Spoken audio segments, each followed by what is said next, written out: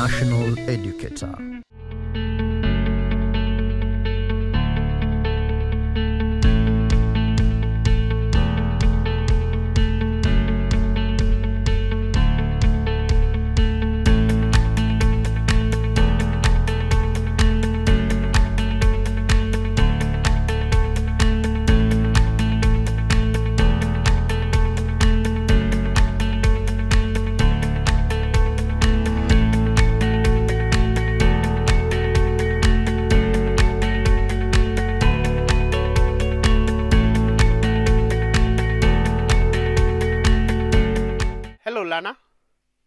Welcome to our primary mathematics revision lesson. Get your book and your pen, don't forget your ruler and let us do some revision. Today I want us to look at algebra.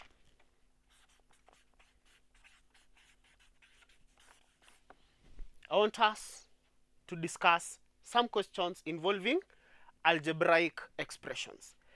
When we talk about algebra, there are several subtopics. Simplifying, solving, forming and solving. You form a problem and you solve it. Then there are the inequalities, inequalities that is. And we also have evaluation, which we also call substitution. Then today, I want us to talk about solving.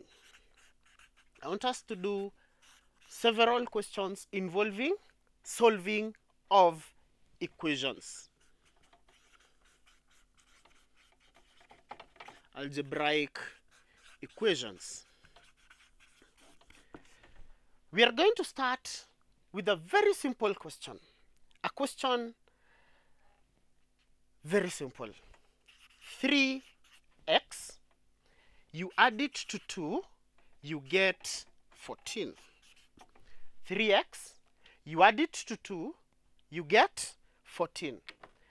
Lana, how do we work out this question? When you talk about solving, there is the there are two concepts that we have to obey. The first concept is the first rule and the main rule in algebra. Put the like terms together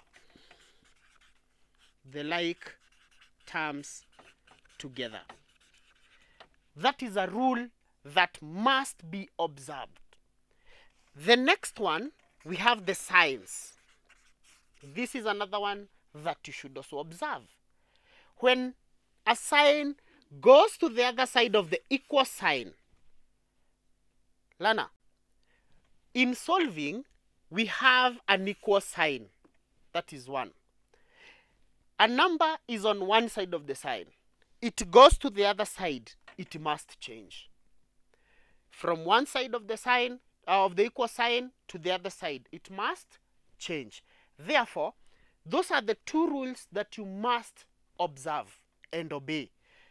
3x, you add it to 2 to get 34, uh, to get 14. Let's work it out. Observing the rules. The first one, we put the like terms together. So I'm going to take the 2 and not just 2.